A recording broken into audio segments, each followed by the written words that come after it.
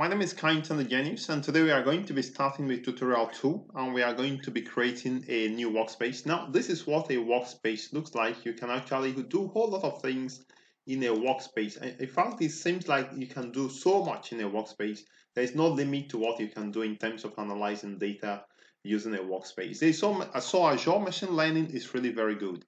But now this is not where we are. I'm going to close this and let us start from the scratch. So basically in tutorial one, we set up our free account and we're able to access Microsoft Azure portal. And today we are going to be creating a workspace.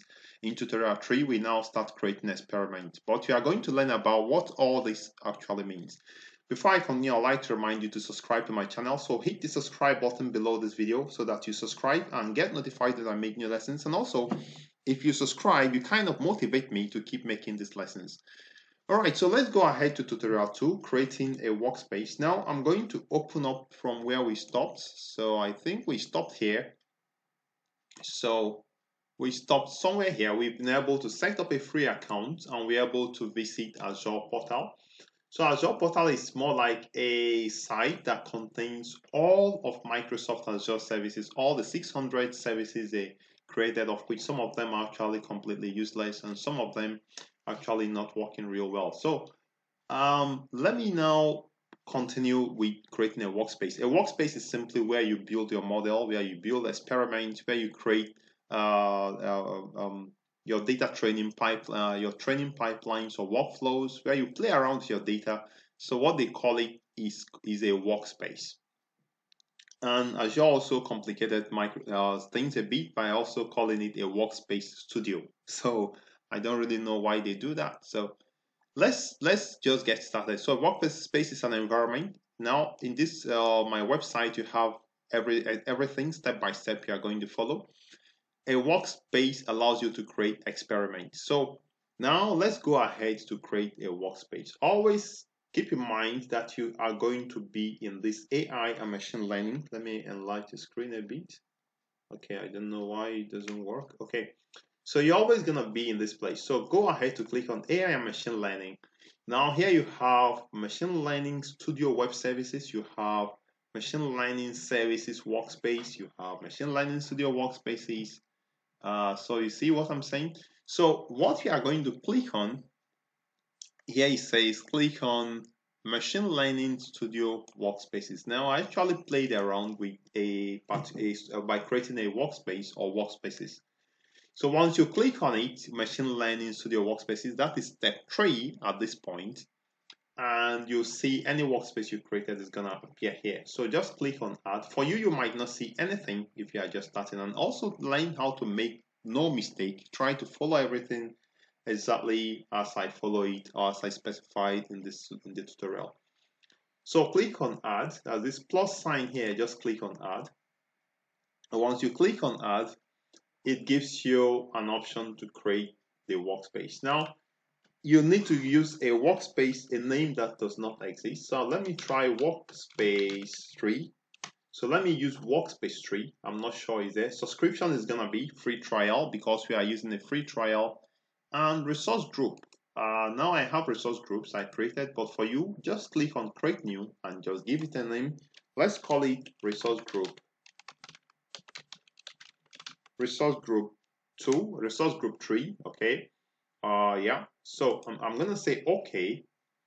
And you have resource group 3 workspace is okay. Workspace, workspace tier is okay. Um, we also have workspace service plan, create new is fine. If I use existing, uh, we have a number of them I created before, but let's leave it as create new because for you is okay. Then go ahead to the pricing tier and click on the first one that says standard pricing tier. So actually you have free, uh, free $200 or euros uh, for now. I don't know exactly. So now after setting up all this, let me just check what notification is this. Okay, I have 169 uh, remaining, so that's fine, no problem. So after filling everything, just click on create. So once you click on create, depending on the speed of your Internet Explorer uh, and a different other factors. So let me just go ahead to go back to where we are. sorry uh, so so sometimes this thing gets lost no problem. So um, so I can see it's deploying. If I click on this place you can see deployment in progress. So let me just come back here. I'm actually uh, okay. So we just have to wait for a little time. So you can see uh, deployment is underway. So it's actually building up a workspace but you need to allow it to complete creating this workspace after creating it so you can see this this is a workspace plan. It's different from the workspace. It's also creating the workspace storage. It has to create this workspace storage. And the resource group has to be created. You need you know we specified all these things uh, when we filled in the workspace uh, uh, uh, details in the text boxes. So let's see. So after creating the workspace it's gonna deploy it and then we'll be able to play around. So a number of things is complete. All right so perfect. So everything is perfectly okay. All right. So at this point what you can do just go back to this place and go to workspaces. Workspaces like machine learning studio workspace so if I at this point we can you can see workspace tree, the one we created just now. Uh, yeah, so this workspace tree. So just click on it and, and open it up. Okay, so the steps are right here for you, and this is where we are at this point. So at this point, we've come to uh, our workspace, but this is a workspace, and we want to get to the workspace studio. So I'm going to just click on Launch Machine Learning Studio.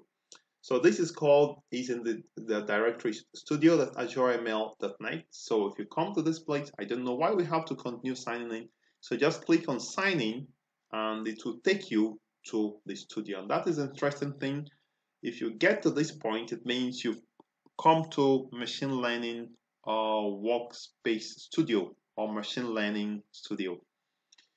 All right, so now we are in the studio. All right, so I'm going to kind of expand it.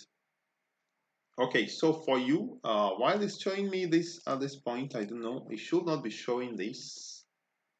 It should not be showing these projects, experiments. Okay, so while it's showing this one at this end, uh, I don't know because this is something I worked with before. So this is workspace 1. I actually should be in workspace 3.